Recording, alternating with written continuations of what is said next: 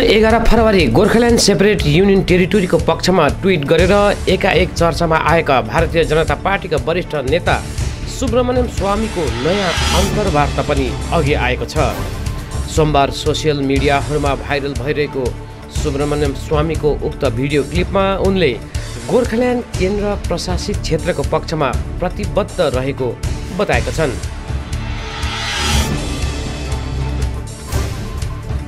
Which will communicate with us mm-hmm. on a daily basis. Not with me, mm-hmm. but with the general secretaries. Mm-hmm. And then meet you also and tell you that this is what we want to. We may have a function also in Darjeeling and say May. Uh, after they have raised the matter in Parliament. So, okay. Would you would you like to raise it as a separate said Gokaland, a clear cut? Um, obviously, why why should I make compromise? That's what we expect from you.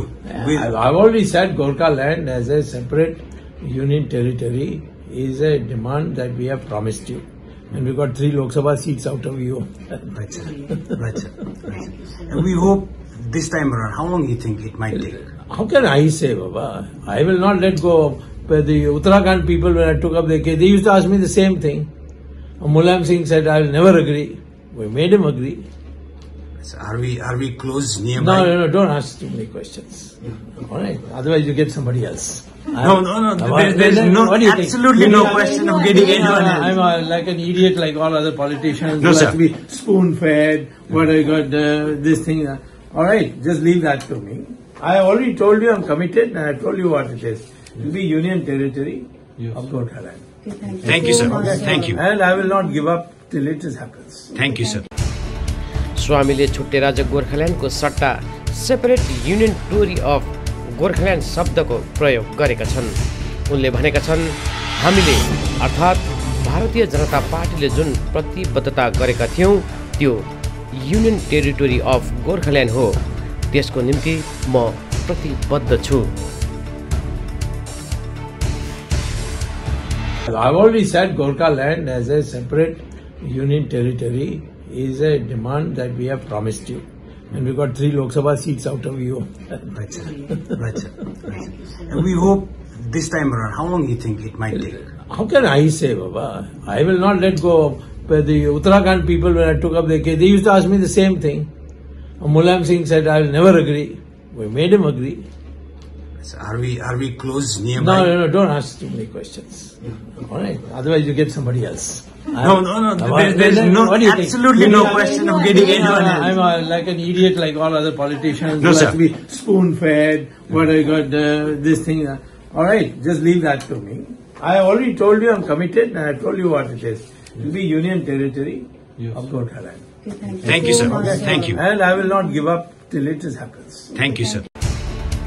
अर्कोतिर Gorkha Janmukti Morcha Darjeeling town कमिटीका प्रवक्ता सन्दीप छेत्रीले सुब्रमण्यम स्वामीको बयान अघि आइसकेपछि उक्त बयानलाई स्वागत जनाएका छन्।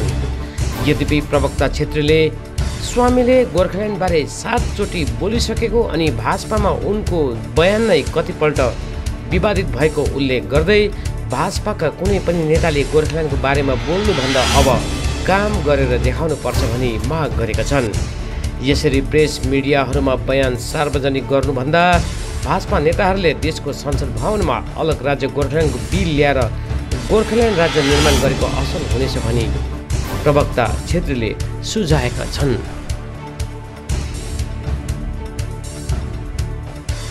आज दिल्लीमा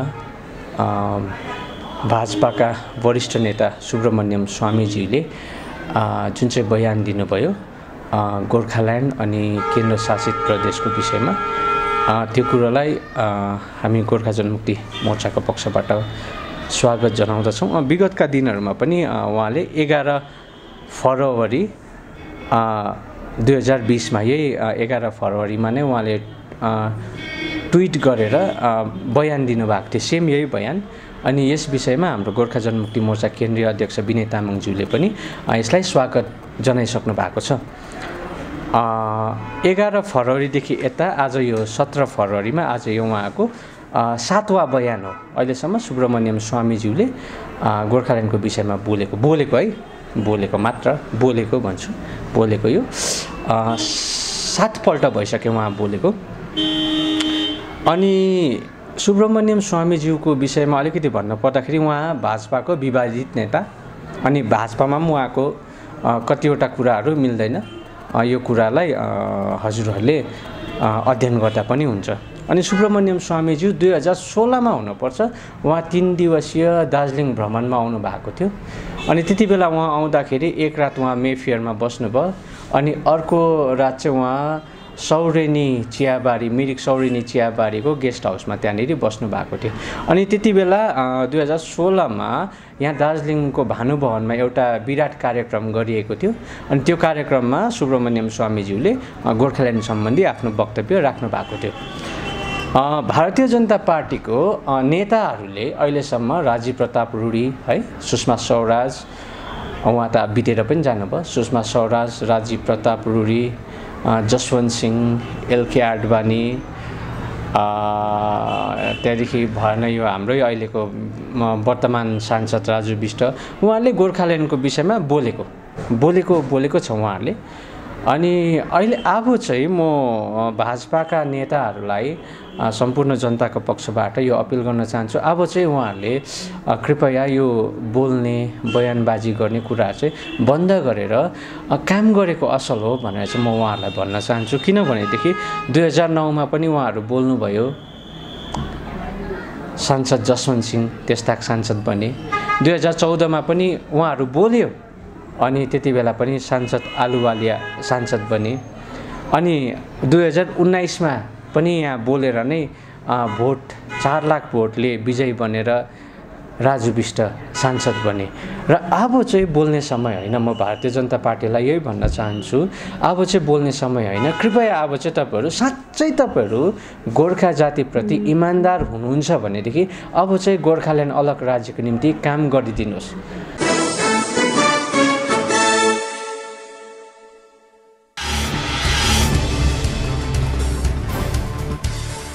एनआरसी एनपिआर अनि सिएए कानुनको विरोधमा अल डेभलपमेन्ट बोर्ड कोअर्डिनेसन कमिटीद्वारा गत पन्ध्र फरवरीदेखि कालेबुङको त्रिकोण पार्कमा सञ्चालन भइरहेको धरना प्रदर्शन कार्यक्रम अन्तर्गत आज सोमबार पश्चिम बङ्गाल मगर विकास एवं सांस्कृतिक बोर्डका सदस्यहरूले धरना दिए।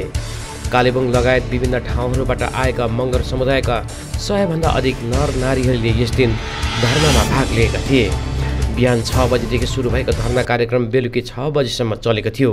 बोर्डका चेयरम्यान नवीन थापा मगरको अगुवाईमा आयोजित यस धरनामा सरिक मगर समुदायका ज्यादातर मानिसहरूले विकास बोर्डका चेयरम्यान नवीन थापा मगर लगायत बोर्डप्रति पूर्ण आस्था व्यक्त गरेका छन्। यो चाहिँ अब हाम्रो विशेष गरेर चाहिँ आइडेन्टिटीकै लागि हो। अब एनएसटी है सिएए यसकै विरोधमा चाहिँ हामी चाहिँ अब यसको यो चाहिँ हाम्रो यो हामीमा लागु नहोस् भन्ने पक्षमै हामी अब हजुर। अहिले जति पनि हामीलाई अब जस्तो अब आसाममा हाम्रै दाजुभाइमाथि अब जति पनि अब उहाँहरूले दुःख पाइरहनु भएको छ यसमा अब जति पनि हामीले अब हामी यहीँको हो र पनि हामीलाई आज अब हामी यहाँको मगन डेभलपमेन्ट बोर्डको आदेशअनुसार र जुन चाहिँ अब यो अहिलेसम्म मगन डेभलपमेन्ट बोर्डले जुन चाहिँ अब कामहरू गरेको छ कार्यहरू गरेको छ। हामी गरिब दुःखी मगरहरूलाई जति पनि सहयोग गरेको छ अब होइन त्यो काम अनुसार अब हामी कतिजना अब मगरहरू धेरै खुसी छौँ। त्यसै कारणले गर्दाखेरि अब आज यस जग्गामा हामी यस बोर्डलाई सहयोग गर्न हामी सबै ठाउँबाट भेला भएको छौँ। अब हाम्रो डेभलपमेन्ट बोर्डको चेयरम्यानको हुकुम हो। हामीलाई त अब बोर्ड खोलेकोदेखि सबलाई राम्रो छ। अन्त चेयरम्यानले जहाँ जहाँ जानु भन्छ त्यहाँ त जान्छौँ हामी। पत्रकारहरूसित कुराकानी गर्दै चेयरम्यान नवीन थापा मगरले सबै सदस्यहरू कोही पनि करकापको कारण होइन तर एनआरसी एनपिआर तथा सिएए कानुनको विरुद्धमा स्वतः स्फूर्त यसरी धरनामा सामेल भएको बताएका छन्। सबै सबैलाई मेजोर। आज तेस्रो दिन यो धर्नाको तेस्रो दिनमा मगर विकास बोर्डको पालो परेको हुँदा हाम्रो कालिम्पोङ भेगका हाम्रो मगरहरू उहाँहरू सबैजना आइदिनु भएको छ यो धर्नालाई सहयोग पुर्याउनको लागि। यसमा हाम्रो आजको यो धर्नामा डेढ सौदेखि दुई सौजना मान्छे हाम्रो मगरहरू उपस्थित हुने भएको छन् र उहाँहरू आफ्नो स्वइच्छाले मगर विकास बोर्डले उहाँहरूलाई जानकारी गराएको अनुसार उहाँहरूको स्वइच्छाले यो धर्नामा उपस्थिति दिनु आउनुभएको छ। र हाम्रो मगरहरू यहाँ सबैजना बुढोपाखादेखि लिएर जवानहरूदेखि लिएर सबैजना आज उपस्थित हुनुभएको छ। उहाँहरूलाई पनि म आन्तरिक हृदयबाट धन्यवाद दिन चाहन्छु। कारण यो धर्ना गर्नु नितान्त आवश्यक परेको छ। आजको दिनमा आसाम आसाममा हेर्दाखेरि हामीले धेरैवटा हाम्रो गोर्खा जातिहरूले समस्या झेल्नु परिरहेको छ र यस्तो समस्या हामी यहाँ झेल्नु नपरोस्। हाम्रो गाउँ बस्तीको मान्छेहरूकोमा भनेको जस्तो डकुमेन्ट्स नहोला।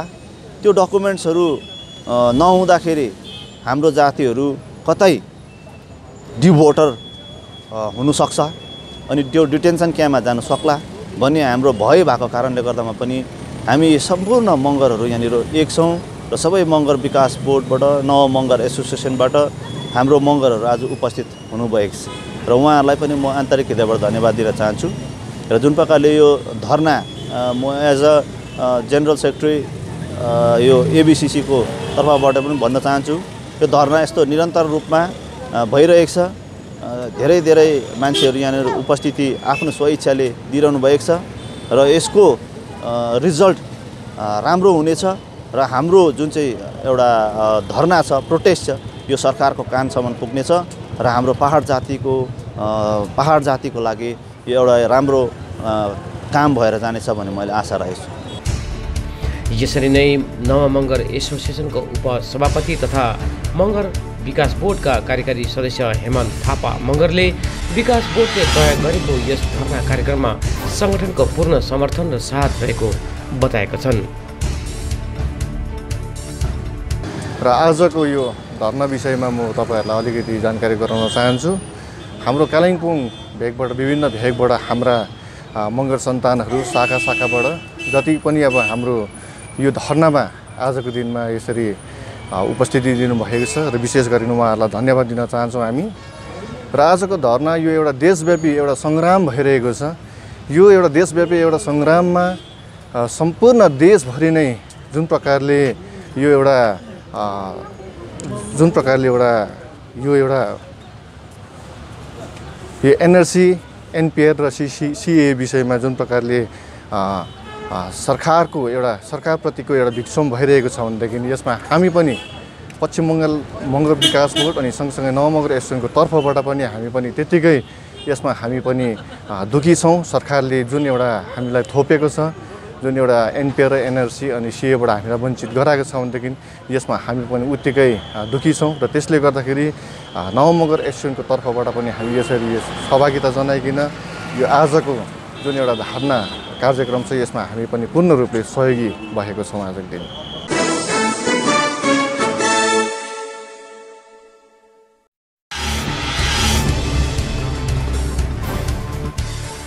चीनबाट फैलिएर संसारकै निम्ति आपदा बनेको कोरोना भाइरसको सम्भावित प्रकोपलाई लिएर कालेबुङ जिल्ला अस्पतालले पनि आफ्नो तयारीलाई दुरुस्त गरिरहेको छ।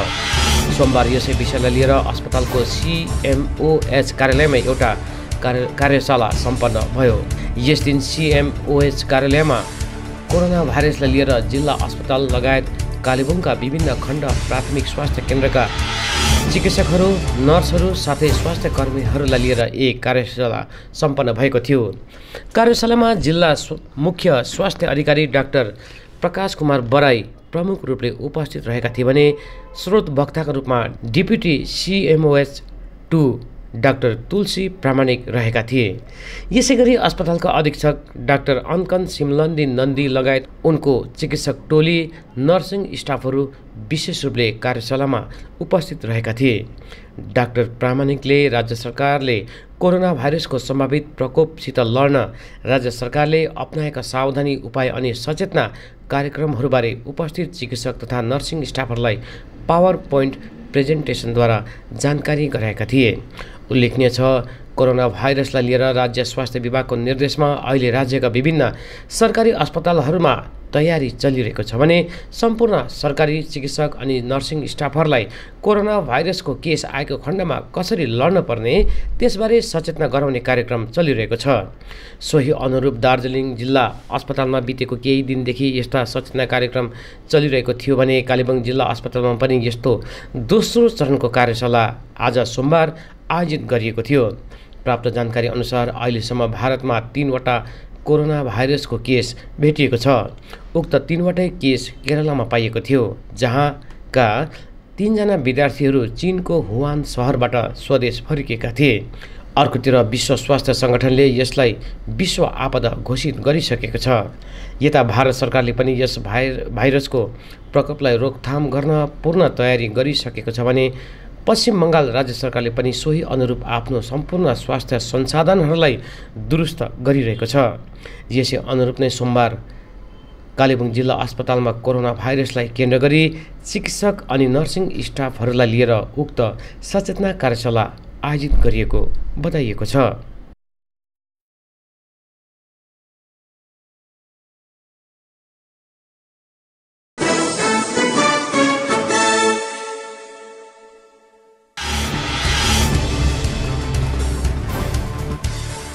कालेबुङ कन्या उच्चतर माध्यमिक विद्यालय वरिपरिका मिसनरी कम्पाउन्डका जमिनहरूमा कथित अवैध निर्माणलाई लिएर तारा सुन्दासले फेरि आवाज उठाएका छन्। यसलाई लिएर गत तिन फरवरीको दिन कोलकाता नवान्नमा मुख्यमन्त्री ममता ब्यानर्जीलाई भेट्न कालेबुङबाट सिपिएम पार्टीको एउटा डेलिगेसन गएको दावी गर्दै सुन्दासले उक्त दिन मुख्यमन्त्रीसित भेटघाट त नभएको तर मुख्यमन्त्रीका सचिवले आरोपीहरूको नाममा प्राथमिकी गरेर आउनु भनेको बताएका छन्। सोमबार मिडियासित कुराकानी गर्दै सुन्दासले भने गरिब जनताले न्याय नपाए हामी ती आरोपीहरूको नाममा प्राथमिकी गर्न पनि तयार छौँ। मिसन कम्पाउन्डमा निर्माणको कार्य चलिरहेको विषयमा बोल्दै माकपा नेता तारा सुन्दासले गत सत्र जनवरी न्यायालयले कालेबुङ जिल्लापाललाई आठ हप्ताभित्रमा जवाब दिनु भनी जारी गरेको आदेशको हवाला दिएका छन्। अब जिल्लापालले अदालतलाई के जवाब दिने हो त्यसबारे आफूहरूको नजर रहेको पनि उनले बताएका छन्। नवन्नमा गएर ममता ब्यानर्जीसँग भेट्नलाई यो मैले गएको। नवन्नमा गएको थियौँ र नवन्नमा गएर नि चलाउँछौँ। किनभने हामीले यो लेखेर दिने यो इलिगल कामहरू हुँदैछ भन्ने कुरालाई जानकारी दिएको यहाँको झुसे मुसे सबलाई दिइसक्यो। अफिसर भन्ने कुरा सबलाई दिइसक्यो। आइजीलाई कमिसनरलाई डिभिजनल कमिसनर सबलाई दिइसक्यो। केही नहुँदा चाहिँ कर लागेर चाहिँ अस्ति हामी तिन तारिकको दिन हाम्रो पार्टीको तर्फबाट एउटा डेलिगेसन चाहिँ ममता ब्यानर्जीलाई भेट्नु गएको थियौँ। यो पास तपाईँले हेरिहाल्नुहुन्छ यो पास। र हामी त्यहाँ जब भित्र पस्यौँ भित्र पसेपछि ममता ब्यानर्जीको त्यहाँ पुऱ्याउनु अगाडि चाहिँ उनीहरूले के भन्यो भने मुनि चाहिँ इन्क्वायरीमा चाहिँ के भन्यो भने तपाईँको पेपरहरू के छ भने पेपर हेऱ्यो। र पेपरको बादमा चाहिँ त्यो हेर्ने अफिसरले भन्यो जसको विरुद्धमा तपाईँको यो छ स्पेसिफिक नाम लगाएर त्यसको नाममा डायरी गरेर ल्याउनुहोस्। र म यहाँ के भन्न लागिरहेको छु भने त्यहाँनिर पुग्दाखेरि ममता ब्यानर्जीलाई भेट्नु जाँदाखेरि उहाँका सेक्रेटरीले भन्नुभयो तपाईँले जसको नाममा यो कुराहरू डिटेल छँदैछ यो जमिन त्यो जमिन तर कसले गर्दैछ त कसले बेची खाँदैछ त? त्यसको नाममा डायरी खै? भनेर भन्नुभयो। र अब त्यो डायरी लिएर आउनुहोस् त्यसको बादमा चाहिँ म्याडमलाई भेटाउनुपर्छ कि हामी आफै हेर्नुपर्छ भन्ने कुरा उहाँले भन्नुभयो। र हामी फर्केर आयौँ। र विशेष कुरा चाहिँ आज के भन्नु लागेको भने यदि यो अवस्थामा चाहिँ डायरी गर्नु पर्यो भने त कसले डायरी कसले गरेको छ भन्नु भएन नामै भन्नु पर्यो। नामै भनेर चाहिँ यसले चाहिँ बेच्दैछ यो चाहिँ बेची खाने मान्छेहरू हो भनिदियो भने त गयो त दुनियाँ।